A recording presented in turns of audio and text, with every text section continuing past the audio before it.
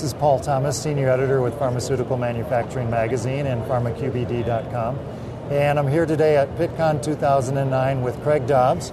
Craig is the Senior Program Manager for Process Analytics with Waters. And today is an exciting day for Waters because it is announcing the Patrol UPLC process system. Craig, thanks for being with us today, first of all. Paul, thank you very much for the opportunity to, uh, to speak with you today. And yes, Waters is very excited to be introducing the Patrol UPLC Process Analyzer at-line system this year at PittCon. And what, uh, what Patrol is really doing is taking UPLC and, and making it into a process analytical technology. And can you take us through a little bit through the history of that in terms of taking liquid chromatography and applying uh, PAT techniques to that? Sure, absolutely. We had a customer who had successfully implemented UPLC technology in their quality control labs uh, approach us and say, We've realized business benefits to utilizing this technology in QC. We see a real opportunity to duplicate that work by bringing that technology down onto the manufacturing floor for in process QC work. Uh, and in doing so, we had to completely reconfigure the system, and that led us to uh, the development of the Patrol UPLC system. Mm-hmm. And this was just announced today, right? Uh, so, correct. The Patrol UPLC at-line analyzer was introduced today mm-hmm. to the marketplace. And um, obviously, one of its uh, noteworthy features is that it provides real-time data. And just how robust is this real-time data? Yeah, the, the, the, system is as robust as our ACQUITY UPLC system on which it is based. Uh, we've brought it down again to a manufacturing floor opportunity uh, implementation. So there was some unique engineering that we had to do in order to uh, assure uptime for our customers. Mm-hmm. But it does uh, take the same UPLC engine that customers are using today uh, in laboratories and bring that technology down to the manufacturing floor. So the quality of data that is generated on a patrol system will be identical to the quality of data you can get from an existing UPLC system. And what kinds of things have you heard from your customers so far? I mean, what, what are the benefits they've been telling you about? Yeah, the benefits are very much in line with what customers are seeing from the ACQUITY UPLC system. In taking these methods down onto the manufacturing floor, they're able to run uh, methods about 10 times faster than what they were previously able to do with LC. And interestingly, you mentioned the idea of real time analysis, and that's in essence what UPLC has enabled these customers to do is bring methods that may have taken 45 minutes, 60 minutes down to the floor so now they can get their results in two or three minutes. From uh, a operational perspective, we've all heard about the acetonitrile shortage, and our customers are telling us that they can cut back on the amount of acetonitrile that they use for their analyses by up to 95%. So with the shorter run times and more efficient linear velocities that they use for their separations, they can save a considerable amount of uh, expense.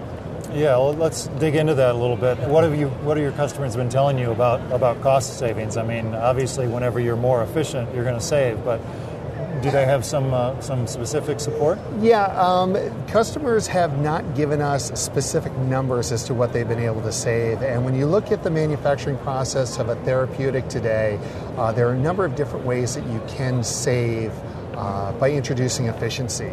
One certainly is you can increase the yield of each step if you're able to monitor your step more closely. You know when to start, when to stop, when to harvest uh, more accurately, and therefore you can increase your overall yield.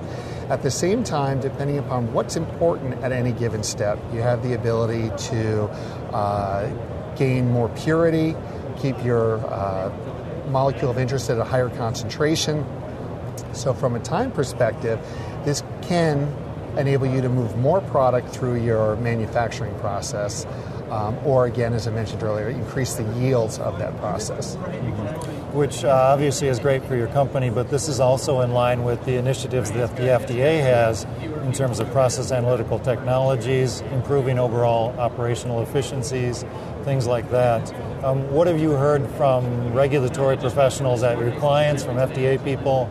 Yeah, again, it's a great question because in the opportunities I've had to speak to regulators, um, they view this not so much as a device for PAT or, or a PAT sensor.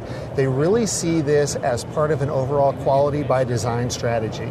And QBD seems to be getting a lot of interest uh, as of late. And the unique aspect of this uh, system is simply you can begin with an ACQUITY UPLC in initial discovery and use that technology to its fullest uh, extent in discovery. And then as you move through development, formulations, scale up, and even pilot scale production, you're still utilizing the same technology. So it's a fluid technology all the way through to manufacturing. Now, the Patrol UPLC system is just the embodiment of UPLC for manufacturing. But what the uh, regulatory bodies and what the regulators are saying they like to see is the ability to have this consistent technology. So, what happens in uh, early development is direct, can be directly related to what's occurring in manufacturing, and that's that whole quality by design aspect um, of the system has become extremely important for our customers. Are there other specific aspects that lend themselves to compliance? Yes, uh, water's probably uh, one of our strongest portfolios of products is based on compliance. Um, Empower, our chromatography data system, is pretty much the gold standard of CDSs out on the market because it's known for its, its uh, compliance. We also have additional technologies like advanced qualification technologies, or what we call AQT, that is applicable to this system um, that enables you to uh, very rapidly and consistently ensure that the system is uh, fully qualified and operating properly. We've also integrated uh, system suitability options into the system so we can, at any given time, run a SysSuit experiment to ensure that the instrument is uh, up and running appropriately. Another product that we have incorporated into the system is what we call Water Scientific Data Management, or SDMS, and this enables our customers to manipulate data into trending and charting uh, in one simple, easy to use format. Mm-hmm. Again, something that's very important for development and, and scale up as you go. It, it is, and it, and it always gives that customer the ability to take manufacturing line data and refer it back to what may have occurred in early development mm-hmm. in, a, in a very seamless way. So I'm sure it's been very popular so far. Where to from here? What do you expect to, to see and what are you developing with Patrol? Yeah, the, the Patrol system uh, is very much a family of systems. Uh, at PittCon 2008, we introduced what we call the Patrol Online system. And the online system uh, has a fluidic uh, path such that it can sample directly from a bioreactor or a large scale reactor or a slipstream uh, from process chromatography equipment.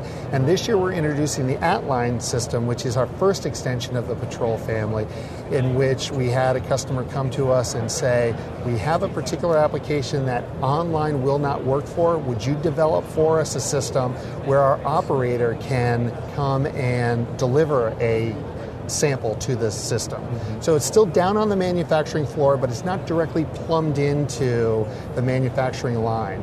It's, it is separate, though it sits down there. And this particular customer, interestingly, gave us a very specific uh, task, and not an easy task, in that they, their workflow is their technician gets a barcoded sample, or excuse me, a barcoded vial, puts a sample in it, caps it. And all they want that technician to do is walk up to the system that may be running, it may be idle, uh, and load a sample. They'll push that button, they'll wait for the system to say it's okay to load, they'll take that barcoded sample, deliver it to the system. The system will then read that barcode, verify that that sample is appropriate to be analyzed by this system, and then it will begin the analysis. Seems seems too easy almost, but I'm sure it's but, not. But that is precisely what this customer asked us to do. It has to be extremely easy. Vial, barcode, sample, cap, deliver to the instrument, and walk away. Everything's driven off of that barcode. Uh, one of the most important aspects of it for this customer was chain of custody. The instrument had to read that barcode and then accept that vial because if that barcode or that sample was not appropriate for this instrument to analyze, they wanted to be sure that the button goes to yellow, our tower goes from green to yellow, an email is sent out to either that technician or that technician supervisor saying the wrong sample has been delivered to the system. Great. Well, Craig Dobbs, thanks so much for joining us today. Really appreciate Paul, it. thank you very much.